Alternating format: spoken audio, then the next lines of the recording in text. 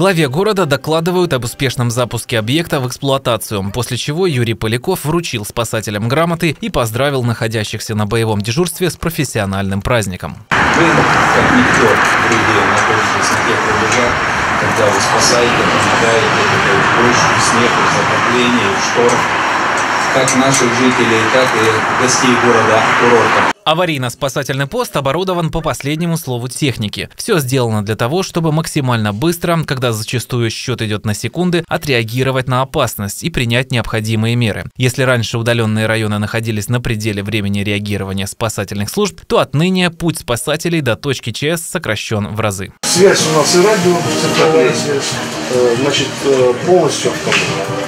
Вообще полностью. Отлично.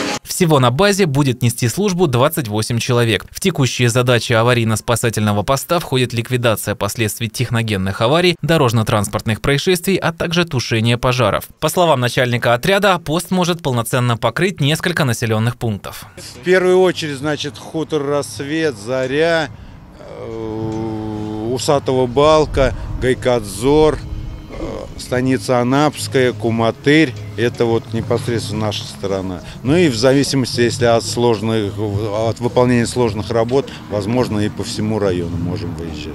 Валерий Перекоти уже 11 лет работает спасателем. В детстве он, как и многие его сверстники, мечтал стать пожарным. В итоге и мечту детства осуществил, и призвание помогать людям реализовал. В 2009 году на Уташе горел дом, детей выносили с дома. Он спас двоих детей, за это получил грамоты. Людей спасали, газовые баллоны доставали там с домов. Ну, всякое было в жизни. По личному указанию главы Анапы из средств муниципального бюджета пост был укомплектован тремя спецавтомобилями Нива быстрого реагирования, которые уже с сегодняшнего дня будут нести боевую вахту по спасению человеческих жизней. Руслан Немцев, Михаил Григорьев, Анапа регион.